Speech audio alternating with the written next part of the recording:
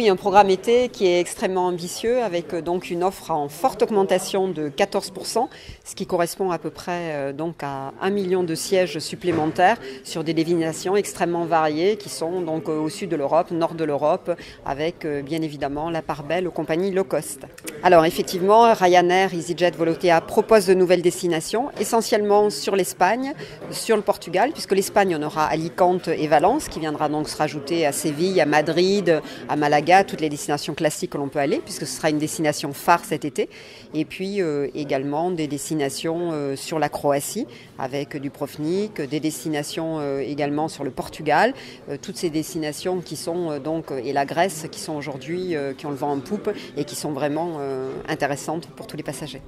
Alors les trois low cost en nombre de passagers représentent 3 300 000 passagers et ça représente en termes de part de marché 42%, ce qui veut dire qu'on a gagné 10 points par rapport donc en 2016. Donc une forte progression euh, de ce segment euh, de développement quel low cost avec effectivement trois poids lourds que sont EasyJet, euh, Ryanair et puis Volotea. Oui, c'est vrai que ben, on rentre dans une période où maintenant on commence à voir les travaux, hein, puisqu'on en a beaucoup parlé, les la préparation, tout ça, mais maintenant on va, on rentre dans le dur.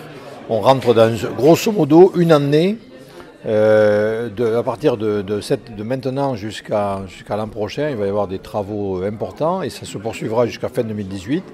Euh, qui vont. Euh, alors ces travaux sont situés aux deux extrémités de l'aéroport, ce qui fait que ça, ça perturbe, mais ce n'est pas encore le cœur de l'aéroport. Mais on va être amené à refaire tout le parcours passager à l'intérieur de l'aéroport, donc des travaux qui seront dans les zones où les passagers passent. Donc de la, complexité, ça c'est compliqué. Dans un contexte en plus de croissance forte du trafic d'une dizaine de pourcents. Euh, je pense que vis-à-vis du passager, il faut éviter des attentes, hein, c'est-à-dire éviter les, des bouchons traditionnels aux post-inspection, filtrage et tout ça. Et, euh, aussi euh, donner satisfaction à nos compagnies aériennes, à nos clients. Donc c'est vrai qu'on rentre dans une phase un peu compliquée et dont on sortira fin 2018 avec un aéroport rénové, euh, euh, beaucoup plus agréable et, étendu. Euh, et à côté avec un hôtel aussi qui donnera un look particulier à l'arrivée à l'aéroport.